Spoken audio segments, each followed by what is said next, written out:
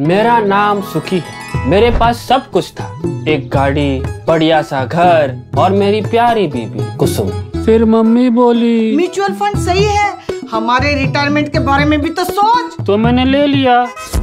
फिर कुसुम बोली गोल्ड में इन्वेस्ट कर सुखी गोल्ड में। तो मैंने कर दिया।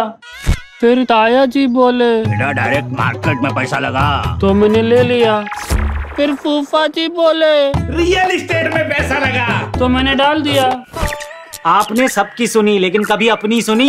इसीलिए तो हमने मनी साइन बनाया। साइंटिस्ट द्वारा तैयार किया गया patented financial personality test one finance app download कीजिए और फाइनेंशियल डिसीज़न लीजिए।